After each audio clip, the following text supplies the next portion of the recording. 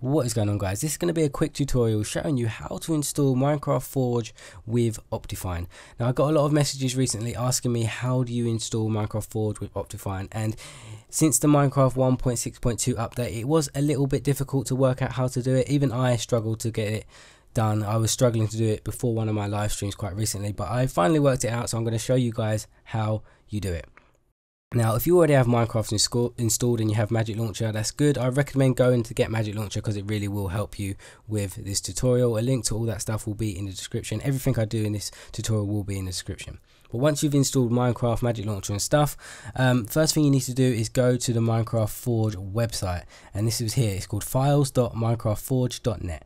And then you'll get brought with this page and you'll need to download this one here the 1.6.2 or whatever version you're using at the time download the installer. So the installer there not universal not src and not changelog the installer. And i would go for the recommended one because it always seems to be the most stable one. So click that and it, you, you download it. I've already downloaded it already so it's on my desktop.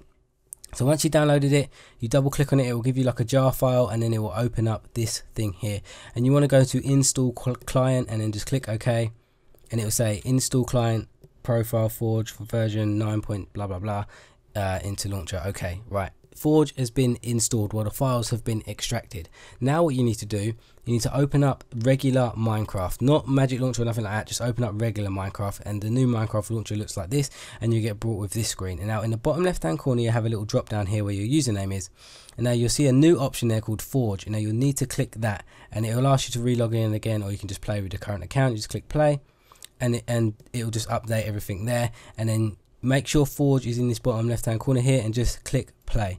And what that will do it will install Forge in your Minecraft folder. So let it run and then once it's installed you'll see in the bottom left hand corner here it says Forge is installed. So now that is it. Forge is perfectly installed on Minecraft. We can use it. It's good to go. Now close normal Minecraft. So if you use Magic Launcher to install your mods because Magic Launcher is awesome to install mods this is what you need to do now. You need to open up your Magic Launcher, click your run, and then one, once Magic Launcher is open up here, you got your passwords and stuff, you go to setup.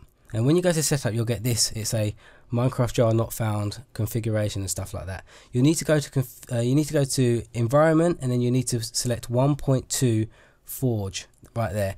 It's important that you run the normal Minecraft before you do this option here what we're doing now because you need to run normal Minecraft to extract all the forge files and then you need to go to Magic Launcher so you get this option in Magic Launcher. If you open Magic Launcher first before running the normal Minecraft you will not get this option so make sure you run normal Minecraft before you open Magic Launcher.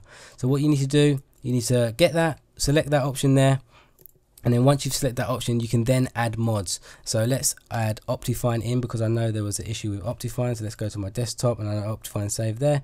I want to put that in it says okay. Now it's not finished there because there's a little thing you need to do to make Optifine work. Because if you try and launch Minecraft as it is right now like this I think it will crash or show you a black screen or something. It will not work. So what you need to do now is go to advanced and in this box here called parameters you need to put this code in that box here. So this one right here the the code will be in the description so don't worry about that. So you need to paste that code into that box there and then click ok.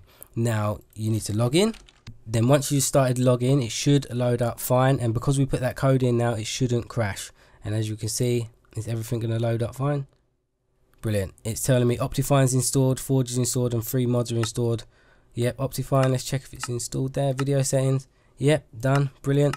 Now, that is it, guys. That is how you install Forge with uh, Optifine and Magic Launcher. And if you want to go back to your Magic Launcher and add some more mods in, you can do that now because Forge is installed. So, like, if you want to add kind of like a mini map and stuff like that, you can just go to the add bu button and install them there and it sh everything should be working good that's how, exactly how I set it up and it should work for you guys too so I hope that solves some of your guys problems you was having installing Minecraft Forge with Optifine and stuff like that so yeah I hope you found this video helpful guys and I will see you again in another video